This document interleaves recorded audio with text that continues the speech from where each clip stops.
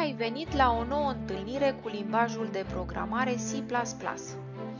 Astăzi te invit să descoperi cum poți utiliza instrucțiunile C++ pentru construirea de algoritmi ce combină structura secvențială și să testezi aplicațiile pe care le vom construi împreună la ora de informatică și TIC pentru clasa 7 -a. Aplicație practică 1 Utilizând limbajul de programare C++, scrieți instrucțiunile necesare pentru rezolvarea următoarelor cerințe. Calculați și afișați perimetrul și aria unui pătrat, știind că de la tastatură se citește valoarea lungimii laturii sale. Calculați și afișați perimetrul și aria unui dreptunghi, știind că de la tastatură se citesc valorile corespunzătoare lungimii și lățimii sale. Calculați și afișați perimetrul și aria unui cerc, știind că de la tastatură se citește valoarea corespunzătoare razei sale. Noțiunile de arie și perimetru apar foarte des în viața de zi cu zi, în domeniul agriculturii, construcțiilor, tâmplăriei, croitoriei și nu numai acestea. Să ne reamintim formulele de calcul pentru aria și perimetrul unui pătrat, a cărei latură este notată cu litera L mare. Perimetrul este egal cu 4 înmulțit cu L, iar aria pătratului este egală cu valoarea laturii la pătrat. Secvența de program C++ prezentată, se utilizează variabila latura pentru memorarea valorii reale corespunzătoare laturii pătratului, valoare care va fi citită de la tastatură folosind instrucțiunea SIN. Cu ajutorul următoarelor două instrucțiuni cout, se afișează pe ecran valoarea corespunzătoare perimetrului și valoarea corespunzătoare ariei pătratului, calculate conform formulelor matematice cunoscute. La execuția codului, dacă pentru variabila latura se citește de la tastatură valoarea 4, atunci rezultatul calculat și afișat pentru perimetrul pătratului va fi 16, iar pentru aria sa va fi tot 16. Să ne reamintim formulele de calcul pentru aria și perimetrul unui dreptunghi. Perimetrul unui dreptunghi va fi egal cu suma dintre lățimea și lungimea dreptunghiului înmulțită cu 2, iar aria cu produsul acestora. În instrucțiunile C++ prezentate se utilizează variabila L mare și L mic pentru memorarea valorilor reale corespunzătoare lungimii, respectiv lățimii dreptunghiului valori care vor fi citite de la tastatură cu ajutorul instrucțiunilor SIN. Folosind următoarele două instrucțiuni cout, se afișează pe ecran valoarea corespunzătoare perimetrului și valoarea corespunzătoare ariei dreptunghiului, calculate conform formulelor matematice cunoscute.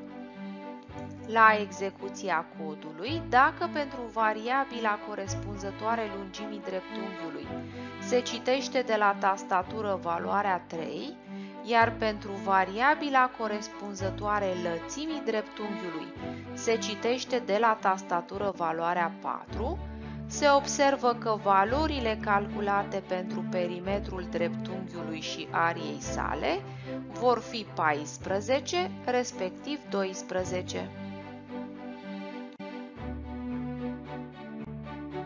ne reamintim formulele de calcul pentru aria și perimetrul unui cerc. Perimetrul unui cerc cu raza notată cu R este egal cu 2 înmulțit cu valoarea constantei matematice pi înmulțit cu R, iar Aria sa este produsul dintre valoarea constantei pi și pătratul razei cercului.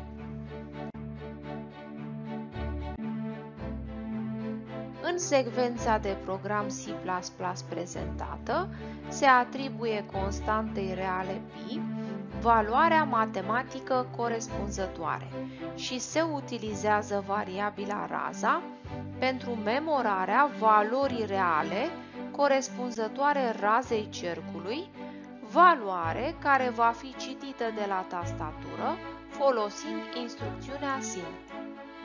Cu ajutorul următoarelor două instrucțiuni cout, se afișează pe ecran valoarea corespunzătoare perimetrului și a ariei cercului calculate conform formulelor matematice cunoscute. La execuția codului, dacă pentru variabila raza se citește valoarea 5, se vor afișa valorile perimetrului respectiv a ariei cercului. Aplicație practică 2. Calculează și afișează, cu ajutorul unui program C++, lungimea liniei mijlocii a unui trapez, pentru care cunoaștem lungimile bazelor. Să ne reamintim că linia mijlocie într-un trapez este segmentul care unește mijloacele celor două laturi neparalele ale trapezului. Aceasta este paralelă cu cele două baze și măsoară jumătate din suma lungimilor celor două baze. Vom aplica această formulă pentru calculul lungimii liniei mijlocii în contextul în care se cunosc lungimile celor două baze. În programul C++ propus, se declară variabilele reale, baza mică, baza mare, linia mijlocie și se citesc de la tastatură cu ajutorul instrucțiunilor SIN în variabilele baza mică și baza mare, valorile reale pentru cele două baze corespunzătoare trapezului. La execuția codului va fi afișat un mesaj prin care utilizatorul este îndemnat să introducă de la tastatură valorile respective.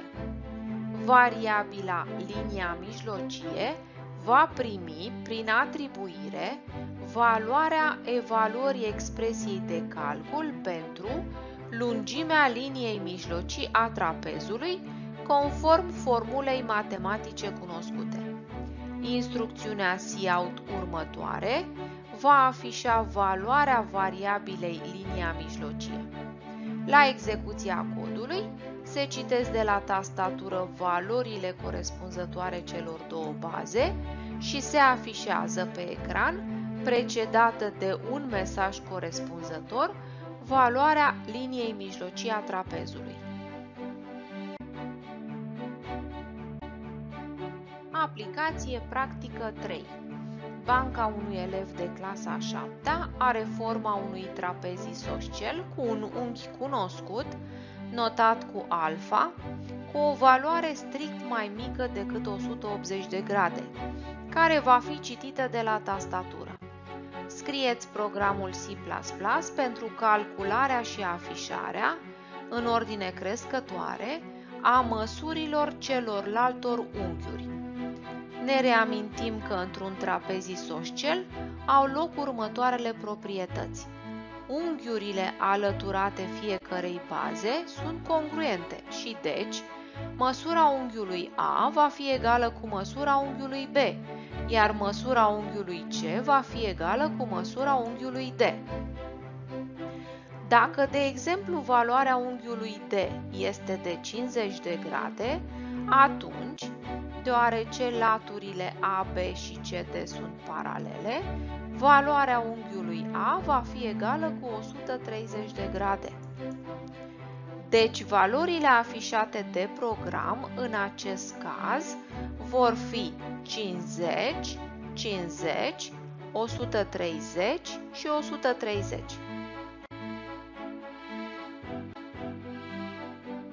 Codul propus va utiliza o variabilă alfa, a cărei valoare întreagă va fi citită de la tastatură cu ajutorul instrucțiunii SIN.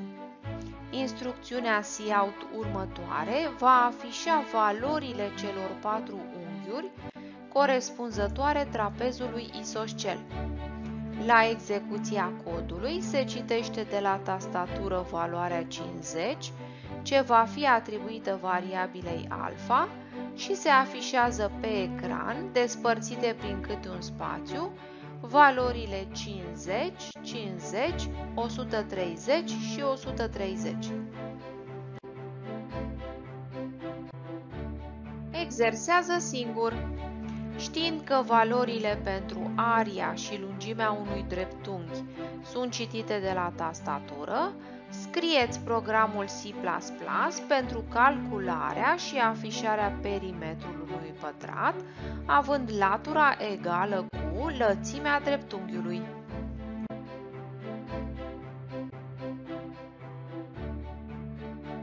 Felicitări! Astăzi ai învățat despre cum poți utiliza instrucțiunile limbajului C++ pentru a calcula și afișa valori corespunzătoare elementelor de bază pentru figuri geometrice studiate la matematică.